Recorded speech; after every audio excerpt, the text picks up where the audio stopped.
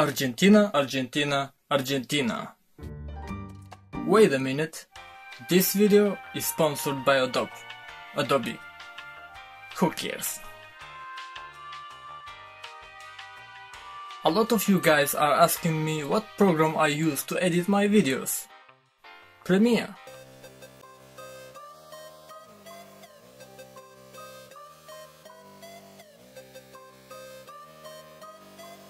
As a filmmaker who have worked on several projects till now, I can say it without any doubt that Adobe Premiere Pro is the best video editing software out there. When it works! By using Premiere, you get access to dozens of video and audio editing features which you can use to craft incredibly complex movies. Hmm. Oops. Just a second. Don't worry guys, when such errors occur, simply move your files to your neighbor's computer and export there. Why you do not work? The file is here and it's completely fine. Don't you see? No sound? Then why the other programs disagree with you? Are you okay? I'm not even exporting the second minute. I'm exporting only the first minute. Do it, you fucking bitch! Please do it. Please, please, please. Fuck you. Fuck you. Fuck you. Fuck you. Fuck you. Fuck you. Fuck you. Fuck you. Fuck you. Fuck you. Fuck you. Fuck you. Fuck you. Well, today's video is not sponsored by Adobe. Enjoy. Argentina, Argentina, Argentina. The country of dreams, the heart of nature, and the land of tango. But is this what I saw when I was there? You will get to know the answer very soon. I did not know anything about Argentina back then in 2019, except its existence and where it is located on the map and I didn't have any plans to visit it, but fortunately my destiny did. I was a seaman, I was on board of motor vessel Cardiff and we were sailing to Buenos Aires, Argentina. Of course, I couldn't miss the opportunity to see it. That's why, regardless of our 12 hours long maneuvering and our exhaust gas boiler washing, I preferred to go out instead of taking a good sleep. In the end of the day, if I feel desperate to sleep, I can do it in the city as well, so why to sleep on board? But there was a problem. Till that moment I had never been ashore alone, so the procedure was a bit blurry for me. In the end of the day, you are not at home and you are not at your homeland. You are on board of a vessel and you are on a foreign land. But I made the procedure clear very fast. The chief officer told me that the permission from my superior and the shore pass from the ship's office drawer were pretty enough. I obtained them as fast as possible and I was ready to go. It was half past 17. I left the ship through the gangway. I took the bus to the port entrance. I passed the immigration and headed up to the heart of the city.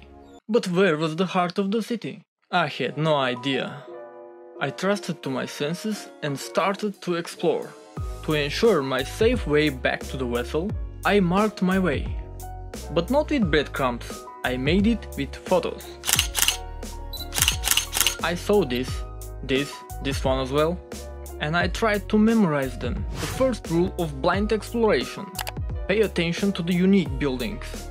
An advertisement billboard can be removed anytime but the building will remain there for years. I saw the children around and stopped there in order to enjoy their fun. It has been more than 20 days at sea for me, so I was kind of missing the normal life. The impact of these children on me was great. Life was going on. I did the same. This one is probably the name of the park I have been to and this is 100% a local supermarket. Wherever you go, some things will remain the same. You can distinguish a supermarket no matter where you are. Is this a poor street?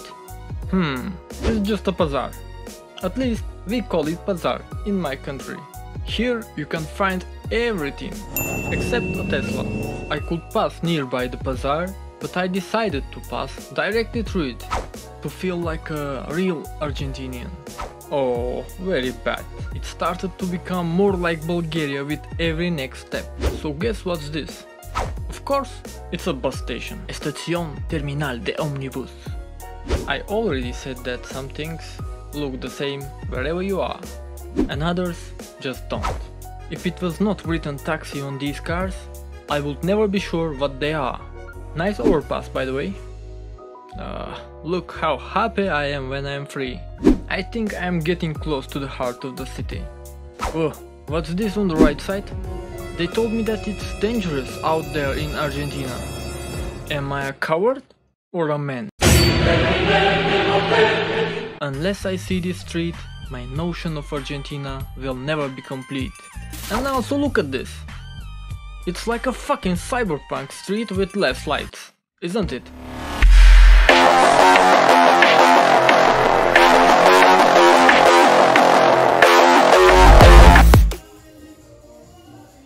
It isn't. But now it's exactly like Bulgaria.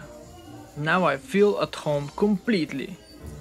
There are two pictures on the screen. Tell me which one is Bulgaria and which one Argentina. The truth is, they are both Argentina.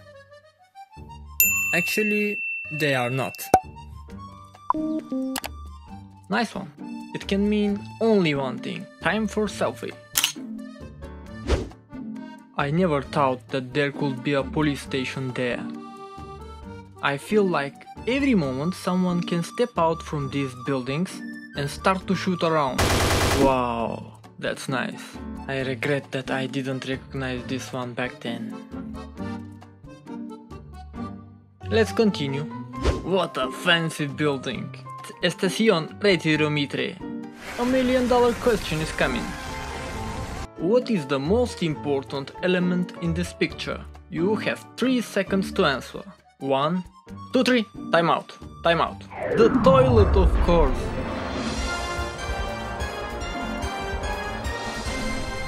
By the way, Retiro Station is very nice. There is kind of greatness in it. And free Wi-Fi.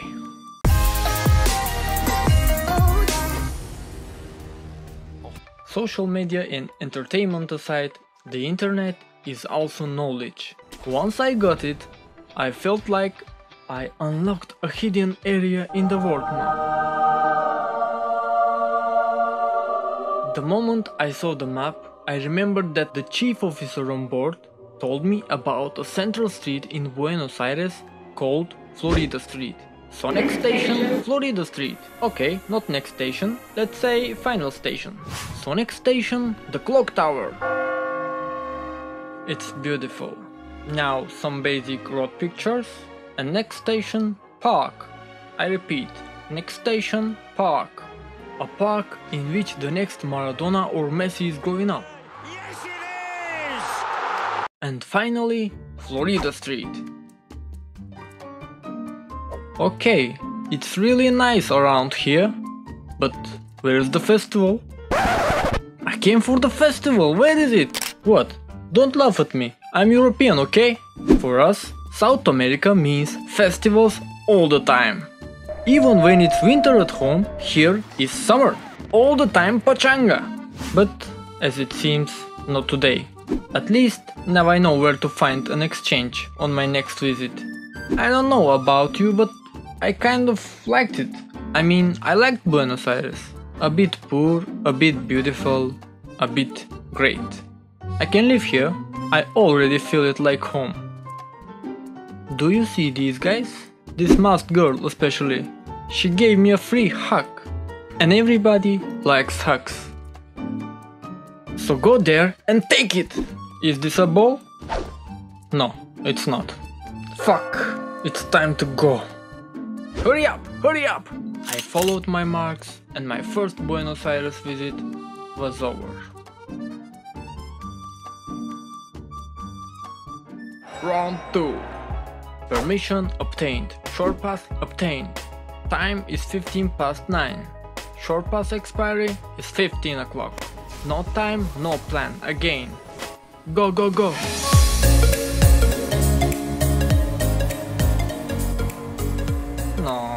This music does not fit at all.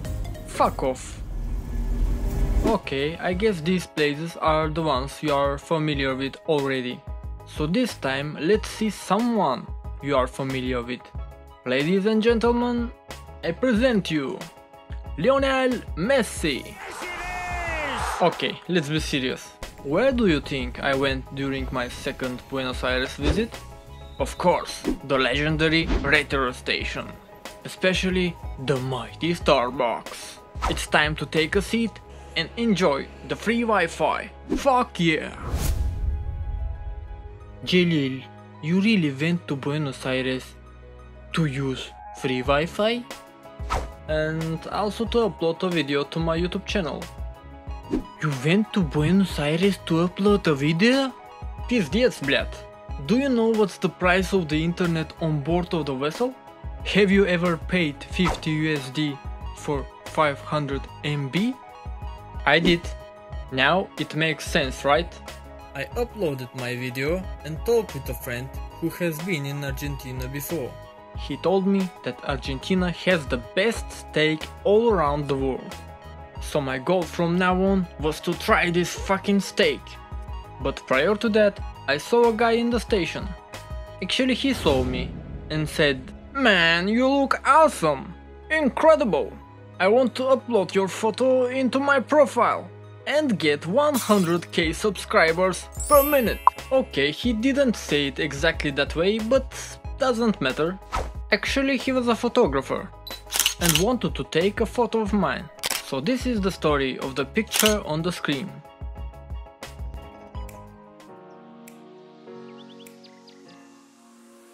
At noontime, I said enough to the internet and headed up to Florida Street. Of course, I didn't miss the opportunity to take a look around at daylight as well.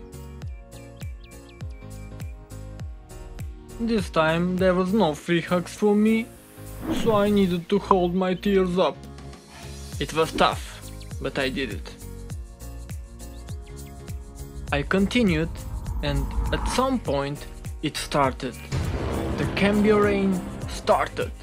Cambio, cambio, cambio, cambio, cambio, cambio, cambio! I felt like everyone on the street was saying cambio. Back then, it was a huge mystery for me. What? What is cambio? My gaze ended up on a mall, and I checked it out just to escape from the cambio combo. In the mall, I had the opportunity to use a bit more Wi-Fi and to find the nearest currency exchange. Also, I saw this chick. Oh baby, I would try my luck with you, but back then I was experimenting with my hair. I was looking like a shit with a nest on its head. This is why I skipped picking up this chick and hit headed up to exchange money. Exchange number 1, exchange number 2. Really? What is this long queue here? It should not be so hard to exchange money. And this was the moment when I realized that cambio is exchange. Oh. So all these guys who were continuously repeating cambio, cambio, cambio were offering exchange. I paid some attention to one of them and he told me to follow him to their exchange office. We walked somewhere, but the building he led me to was not the most promising one. I mean it was pretty okay, but it was empty. There was no one visible through the glass doors. This was the reason why I decided to skip any kind of potential fraud activity in order to keep my money and my nerves safe. And this led to another decision, to find a restaurant which accepts dollars. It should be easy peasy, right? Spoilers ahead. It was not. I went to a restaurant, after that to another, to a third one, they were just not accepting dollars. And at some point when I was starting to lose my faith, a woman who was giving out flyers came to me and started to speak. When she understood that I was not able to speak Spanish, she switched immediately to English and told me that she knows a very nice shop for shoes and jackets. Only 5 minutes from here. I told her that I'm not interested, but she added, and delicious food. I was looking for food and the food came for me. I asked her do they accept dollars? She answered, I think so. Is there an exchange as well? Definitely there is. She asked me to follow her and started to tell me a story. Actually, the first thing she told me was that I look exactly like the boyfriend of her daughter. Was this an offer? She told me that her daughter was together with this guy for many many years. They studied together, they worked together, until the day she caught him in the bed with another girl. Exactly like in the movies.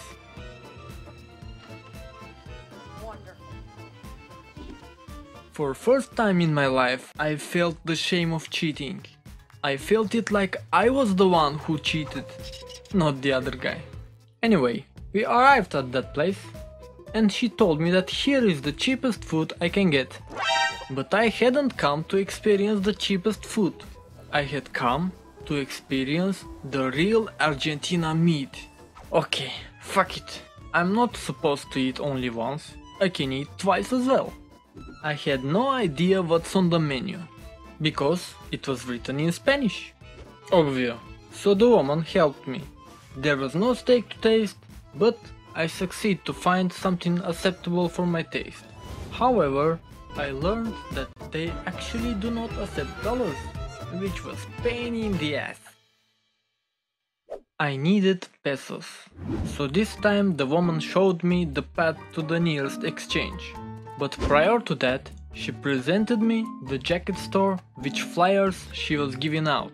I had no need for jacket and no time for shopping. I was a seaman, I have limited time all the time.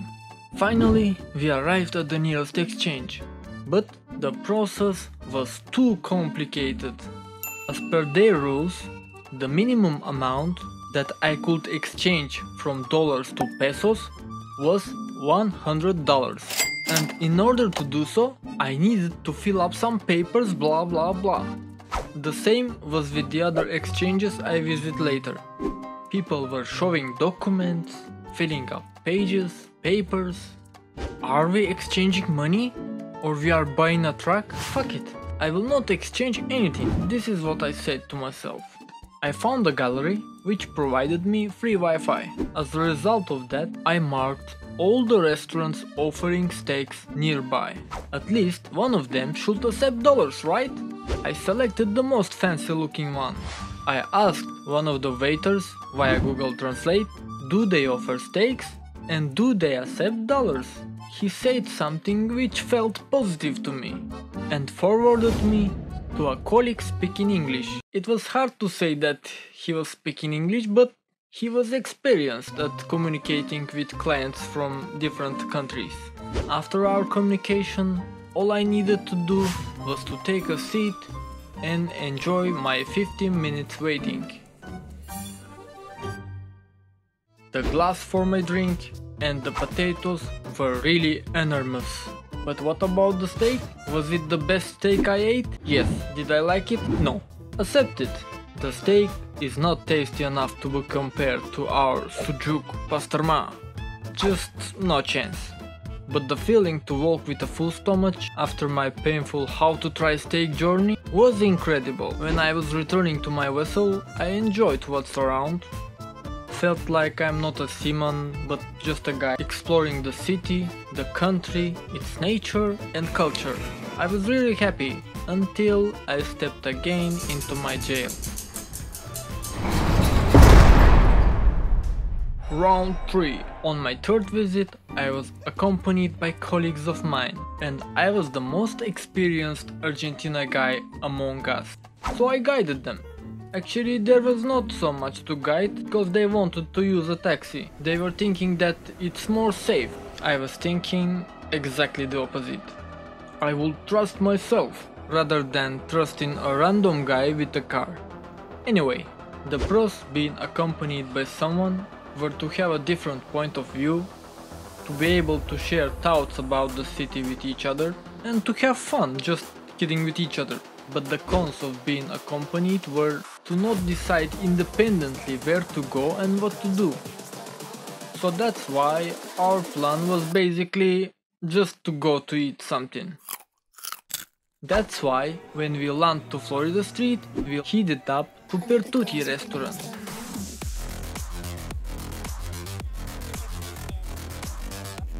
This guy had been in Argentina once, and he was completely sure where was the restaurant we were going to. Yes, yes, completely sure. But no, not at all. I'm telling you, don't ever trust Nico. He's a good guy, but he's pretty sure about things that he actually does not have to be pretty sure about.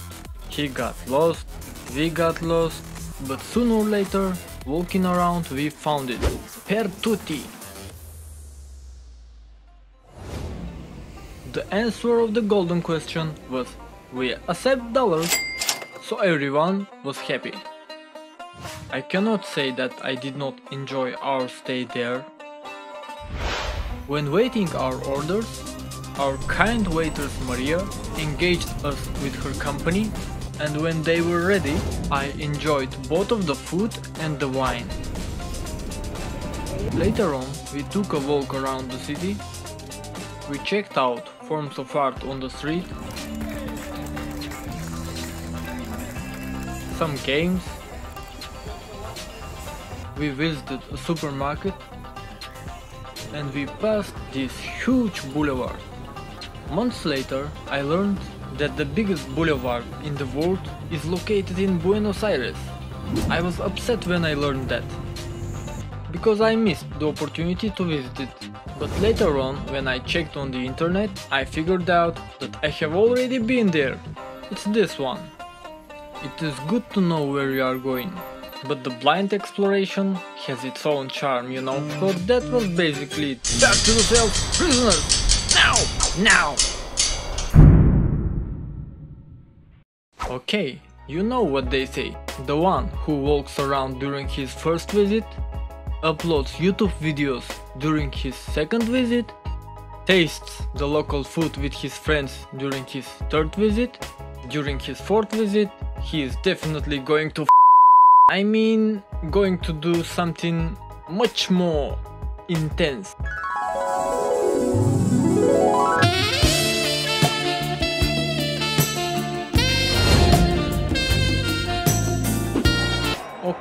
Not during the fourth visit, maybe during the fifth visit. And Corona happened. Seafarers are not allowed to go to shore.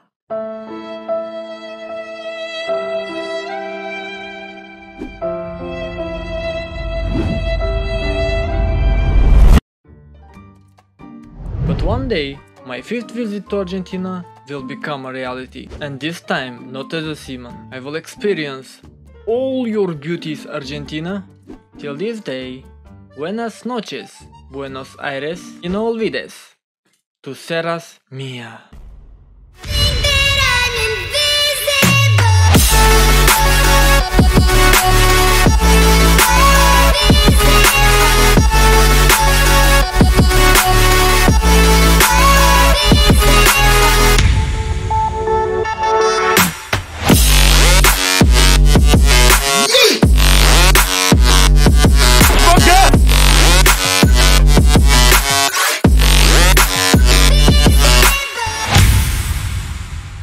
No plan. Bam, bam, bam.